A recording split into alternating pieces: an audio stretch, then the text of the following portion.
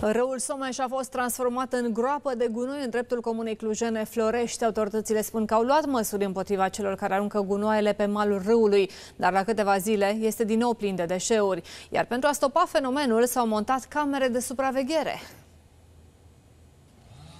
Pe o rază de 200 de metri, verdele malurilor râului Someș aproape că nu se mai observă. Gunoaiele acoperă tot, iar mirosul este insuportabil. Sunt uh, scurgeri, sunt uh, uh, deșeuri de la uh, animale care se scurg direct în Someș, plus încă o parte din uh, știu eu, peturi, deșeuri menajere care se văd uh, cu ochiul liber. Priveliștea este dezgustătoare, iar cei care locuiesc în zonă spun că trăiesc un coșmar. Probabil niște camere de luat vedere acolo sau întărită paza o patrulă sau efectiv uh, pasnici permanenți acolo, că în, în altfel nu se pot rezolva problemele, fiindcă oamenii duc uh, gunoaie și le depozitează acolo. Se descarcă acolo din camioane. Se repetă de ani de zile, de patru ani de când stau aici, se repetă.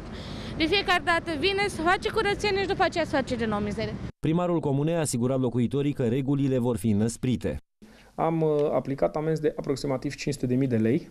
Uh, s-a mers până la uh, confiscare de mașini, am amplasat camere în zonele care le-am considerat sensibile și în continuare suntem în proces de a amplasa camere, de a curăța și de a găsi soluții de a corecta acest tip de comportament pe care nu ni-l dorim. Deșeurile care ar trebui să se afle la reciclat se mulțesc pe malurile Someșului și de fiecare dată când crește debitul sunt luate de apă și duse în localitățile din aval. Doar la sfârșitul lunii octombrie autoritățile au adunat 114 tone de gunoaie.